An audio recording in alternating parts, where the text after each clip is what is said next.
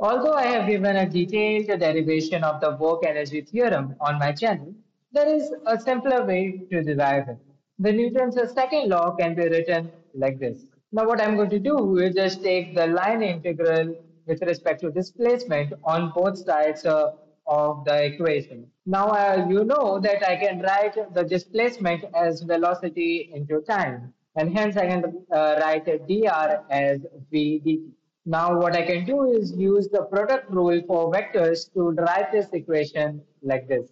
And hence you can see that uh, uh, we can integrate uh, this uh, equation to give the work energy theorem which looks like this. And hence you can derive the work energy theorem in a very few simple steps in this manner.